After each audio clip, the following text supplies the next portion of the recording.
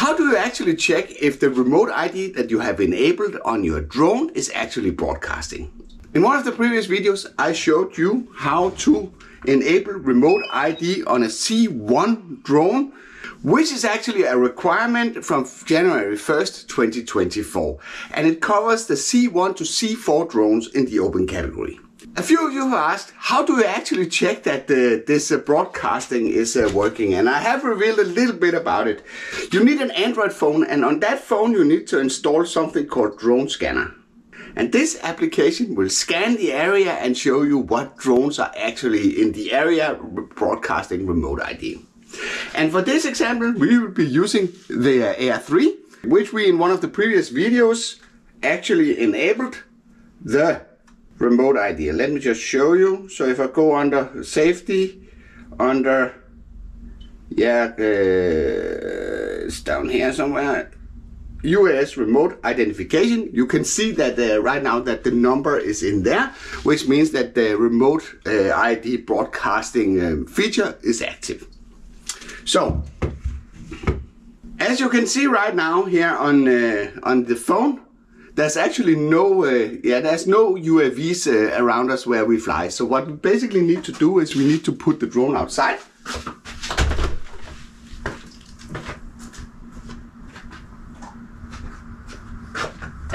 Because it does not work unless the motors are spinning. So one thing that I need to mention is that to be able to make this work, I actually couldn't make it work for a start.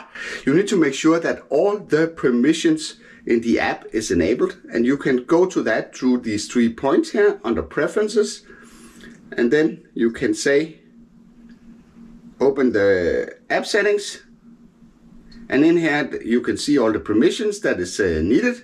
There's the location uh, service and the nearby devices that needs to be enabled. If that is okay you should be able to check if it works. If you press the crosshair here and then it should center basically to the position where you are right now. That at least worked for me, and I tried.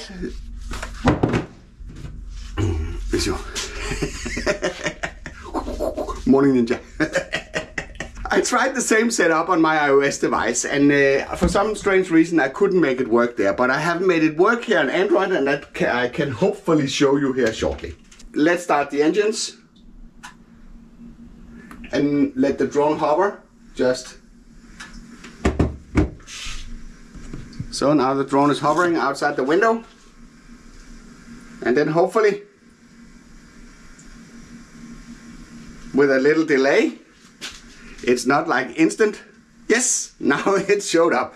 And as you can see if you compare with the, the screenshot that I showed before you can see that the, my uh, operator drone operator ID number is uh, visible uh, below uh, the yeah, yeah.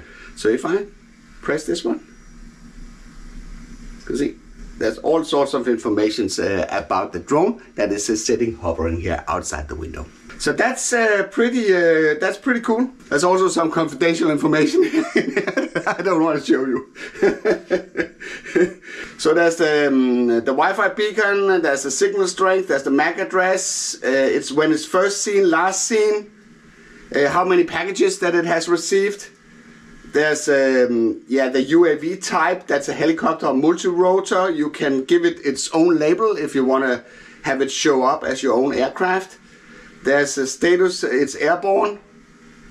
You get some location information. Uh, you get a lot of uh, yeah yeah a lot of stuff that you need to know to determine where the aircraft is actually yeah, present. And then there's of course the whole operator ID, where there's also the location of where I'm located. So if I press this one, it will actually show you where I'm located.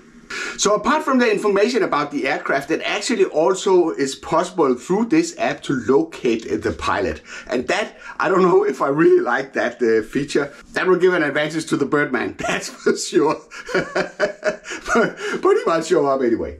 So this was a short demonstration um, about the, the remote ID, how the, you can uh, sort of determine if your drone is actually broadcasting this. And I've been discussing with one of you a little bit about how remote ID actually works and also what tests uh, that there could be done to sort of explore this topic. But if you have a specific question that you want an answer to, then let me know in the comments below. I hope you liked this video. If you did, then feel free to give a like. If you didn't like it, feel free to press the dislike button twice. Thank you for watching, and I'll be seeing you around.